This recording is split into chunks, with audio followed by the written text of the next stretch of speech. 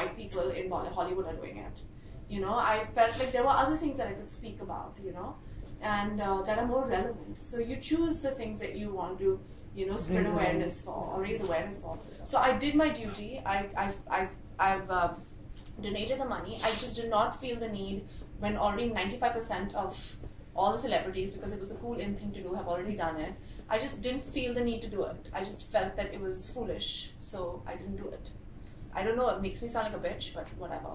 Um, I just felt that it was not needed. I feel really bad for people who are because it's a disease that is. I know a lot about the disease. Um, it's it's a disease that is not you can't cure it, um, and uh, you know you need to do research on it. But there are far more important issues.